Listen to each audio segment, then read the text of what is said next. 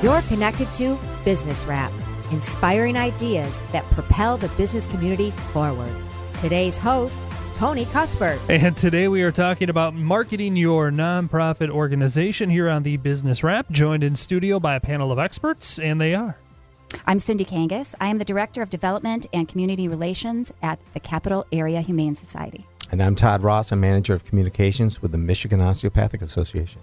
And I'm Paul Schmidt, the Creative Video Strategist for UnoDeuce Multimedia. Paul, keep the mic if you would, sir. Oh, I will. And we've been talking a lot about knowing your brand, knowing your audience, staying with your mission, telling your story.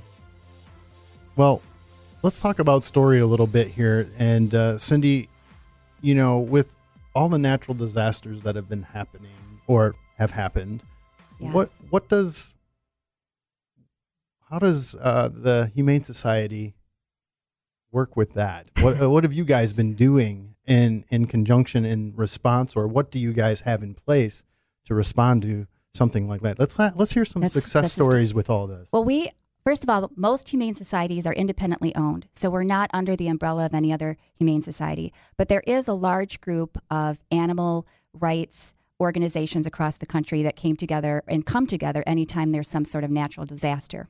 And we learned a lot from Katrina because a lot of times people were going in there with great intentions. They took a lot of the pets out, they shipped them out to other shelters across the country, and they adopted them out.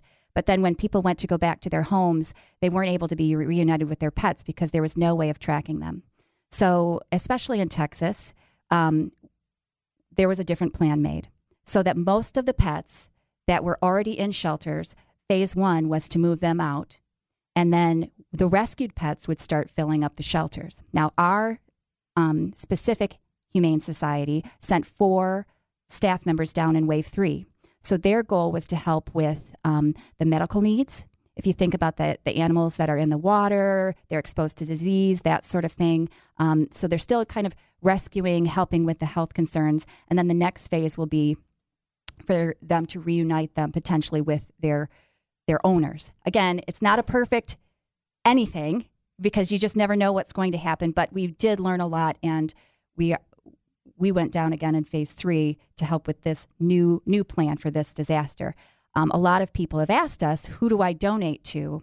In this disaster. And of course, we've told them, you know, national organizations to donate to, or specifically to organizations in Houston. So it wasn't as though we were making money from this in any way. But again, it is kind of telling our story about how we are caring for pets, not only in our own backyard, but we're sending our staff down and our resources down there so that we can assist in some of these disasters. I mean, and that's right there, hitting hitting uh, your audience, hitting you know, furthering your mission, telling your story, and that type of thing. Now, Todd, on a different note, I mean, this may not be all all you know pets and stuff, but let's talk about your your campaign with the opioid opioid crisis. And I've been following that, and I think you guys have been doing a marvelous job in informing uh, your membership, your community on what's going on, uh, both as an organization and legislatively. So, talk a little bit about what you guys have been doing there. So, that's a, a, a, different type of challenge. We're not looking for more members, we're not looking for donations. What we're looking for is public awareness. You know, we want to end the stigma and show that you can treat addiction, that is, it's a disease. So, there's legislative efforts to kind of help shape public policy that, that'll address some of this. And the opioid epidemic is, is multi pronged, there's lots of different causes and we're seeing it cut across all demographics from the UP to Detroit, everywhere. So I think we measure it in different ways. So for me, the more people I can get to um, follow the topic, admit that they have friends, family, relatives, anything that, that have been involved with addiction, and and get it out there so we're stopping addiction. And it's easy for me to pick up. We have a, very strong network in, in, this effort. The state police are involved. The Michigan Hospital Association's involved. So I have a lot of people that we can network. So when we, we want to get the message out, it's easy for us to share that. And how have you seen what what has been the response? Well, I think that legislatively we, we have their their their ear. I've been on this topic for over three years now, and when I started, it was a war on drugs. And I think that the legislators are finally seeing that it's not it's not just about putting people in jail. That that's not working. We had a town hall um, at one of our conventions we had a whole panel of experts and Judge Allen from Ingham County was there, and he started out by saying, "We we can't lock them up. This isn't working. They get out of jail. I went to the hearings. People say I was in prison for two and a half years, and when I got out, the first thing I wanted to do was go do more drugs. So we have to treat this like a disease. So for us, the success, I guess, if you can measure it, is just saying more people know, more people are seeing that it's it's something that's treatable and that we can get legislative policy in place and, and, and healthcare policy in place that can help address that.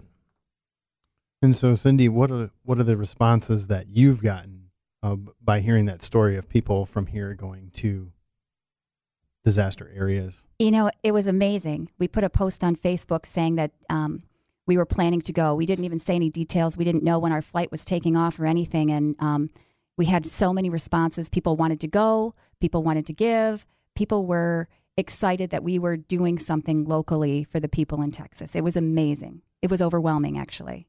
And this is Todd. I think that's just that's so strong, and it, and it makes your brand even that stronger. I think that when it comes down to the end of the year, when you talked about the donor fatigue, that that if you have a couple in in in Ingham County and they're trying to figure out where to give their money, they say, "Hey, this is the group that's carrying out their mission no matter what." I, I think that's very positive. And it's all about that storytelling. Um, you're telling people stories, you're telling pet stories, but Yeah. also people stories, and that's what that's what really draws people in.